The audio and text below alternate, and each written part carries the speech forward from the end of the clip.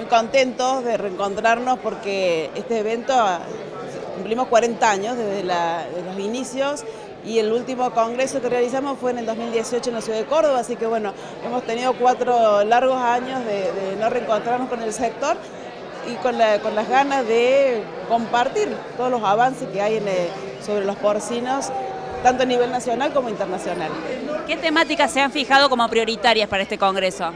Y mundialmente es muy importante hoy en día el tema de una salud, donde la salud humana, la salud animal, el medio ambiente están muy interrelacionados y eh, hay que trabajar, sobre todo lo que vamos a tratar es la resistencia antibiótica, que nos afecta a todos con los avances rápidos que está teniendo esta preocupante situación. Entonces, bueno, es uno de los temas principales.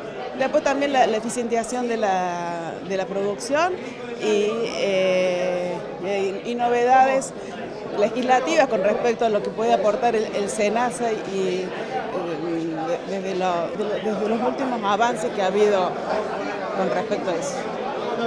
Profesora, ¿cómo se han organizado las actividades en estos dos días? Una, va a ser una jornada de un día y medio, donde en algunas situaciones va a haber dos salas simultáneas con distintos temas que, los asistentes pueden elegir. Eh, y también va a haber, durante todo el día del jueves, bueno, vamos a tener eh, conferencias y el día por la tarde va a haber tres workshops. Las empresas organizan reuniones eh, sobre temas específicos y también vamos a tener un momento de distensión con, música a la tardecita y, un encuentro para, charlar, una peña. También en el hall del pabellón 4 una feria comercial. Sí, la siempre nos han acompañado las empresas del sector, de todos los tipos, de la nutrición, de laboratorios, de medicamentos, de la genética porcina y son parte de, estos encuentros eh, desde hace muchos años. Más de 30 empresas son las que están participando en este momento.